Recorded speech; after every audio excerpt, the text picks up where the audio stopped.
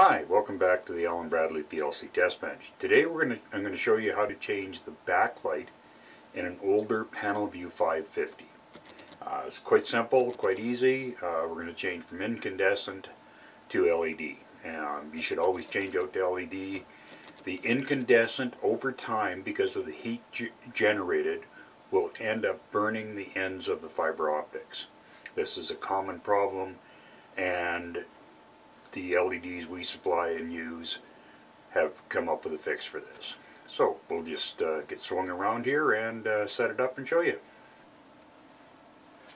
Okay, we're back. So here, here we are. I've got a PanelView 550. It's uh, just a standard unit.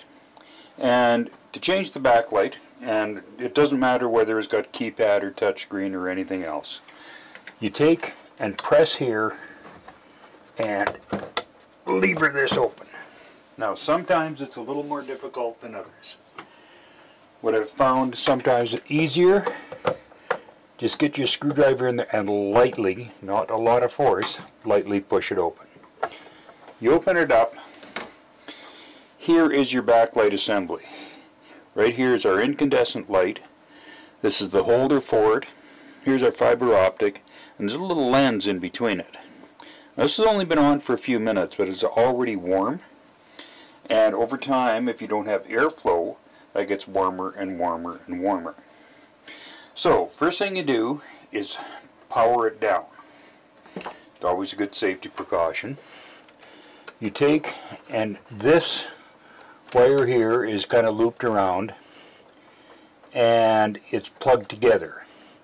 And it's got a little clip on there, you can push it down, and wiggle this apart.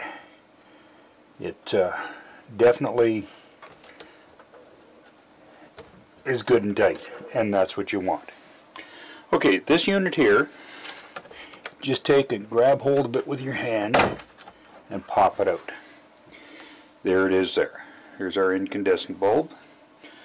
Put it off to the side. Now here's our bundle of fiber optic lines that go to the front screen. Now as you can see, when we grab our LED replacement, which is this guy right here, the end of it has a piece of heat shrink on it that's sized for this.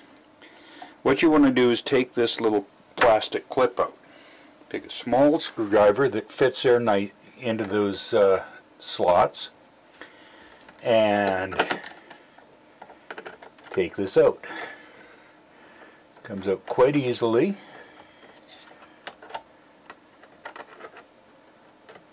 And remember to uh, careful with the screws. Don't drop them like I just did. Because if they drop inside, you'll have to take the entire unit apart. Now you take this and it just slides right off. There's our lens assembly. There's a piece of glass in the middle here. Really hard to see. I can, and it's just a plastic holder. Put that off to the side. Take your LED replacement and it slides onto the end. You have to work it in there and you get it down as far as it will go and then that clips right in there. This plugs together and there's a notch on the bottom here and a slot here so that you can only put it one way. Clip it in and just kind of push it back in there. If you want you could always put a you know like a little tie wrap or something on there and power it up and you can see just power it down there and power it back up. And you can see that this is now on there and that is all nice and bright and you're done.